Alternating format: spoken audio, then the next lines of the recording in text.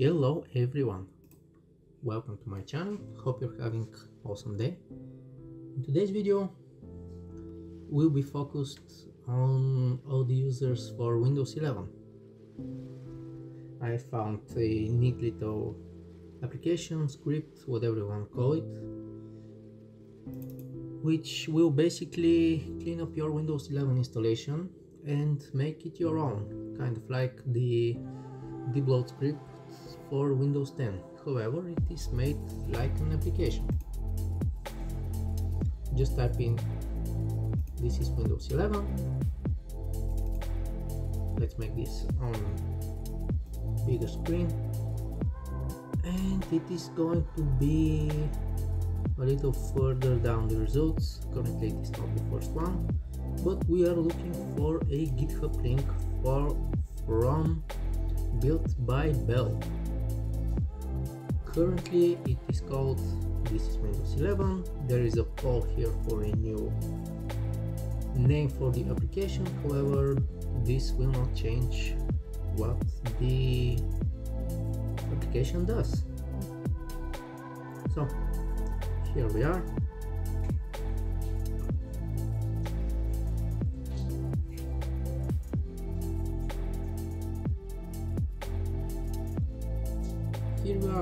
Are on his GitHub page and when we scroll further down we can download the latest release. It's going to redirect us to the releases page and what we're gonna need is this little zip right here. We want to download the zip because it contains every file that we're going to need when we open it we need to extract it. Let's go let's go ahead and minimize this. Preferably create a new folder. I will do it on the desktop for this particular demonstration video. Extract everything to the new folder. And start the executable here it is when we start it yes this is kind of annoying little pop-up. Now before we head and continue on with the cleanup process I want you to notice that there are a lot of pre-installed applications. Here on start menu they can be seen. However this this program can uninstall most of it most of them. Here we have a system. When it is clicked it will make windows 11 look like windows 10 basically it's going to move the taskbar to the left. When we click fix issues it's going to install some widgets enable classic taskbar make a few changes to our registry. It's not gonna look very fancy, however, it does get the job done. System icons on off. Here we can check which icons we want. Here it is. It make the taskbar a little smaller, just like on Windows 10 it's going to do its things. When we click ok it's going to continue. Now when the process is completed we can go ahead and explore further this program. It has enabled dark mode moved the start menu to the left just as it was. Let's check this what it has actually done we can see it has only done this made a few changes changes to the registry. All the applications are here.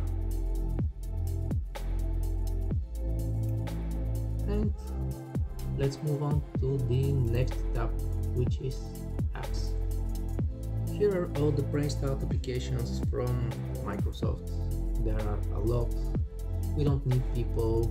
We don't need sticky notes office hub gaming cup. And by selecting any of these applications the program should remove them. For purpose, for the purpose of this video I'm going to select all click on here on add all and it's going to move them to the recycle bin. Once they're there you can go ahead and click on empty the recycle bin. Let's see what will happen. Here we have many pre-installed applications. Just for the sake of this video I will go ahead and click recycle bin and see how the application will perform. Is it going to remove them? We will see in just a minute or two. Alright some applications are being removed right, now. We can see this on the start menu. Pinned applications. The program is doing its job. It's uninstalling so far what we have told it to install which is great in my opinion because it is moving the control back to the user and not on Microsoft. Here we have the summary, the program has done its job, 44 apps have been selected for removal and 35 has been removed. These applications apparently need to stay because Windows 11 cannot operate without them. Unfortunately, not everything can be removed. Let's move on to the next tab. It is the packages tab and it will allow to install seemingly whatever application you select here. This is really awesome and for the purpose of this video I'm going to select a few of them. Here we have Skype, Skype technologies, but however it is Win Windows 11 is uh, searching on the internet for this. We do not have it installed. We can go ahead and select it. Google Chrome, we already have this. Let's go ahead and install Audacity, Notepad, Firefox, and where is it? QBitTorrent. That's awesome. Alright, once we have these applications that we want installed, we can click Run Installer and they will be installed on our system. When you click Run Installer, you can continue working while we install. That's great. That's really, really great.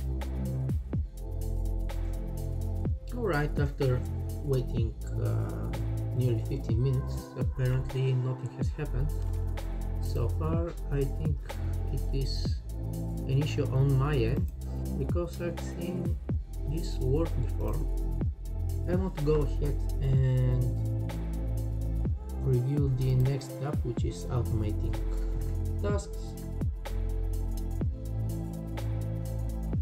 Let's move on to the next uh, tab which is to automate some tasks.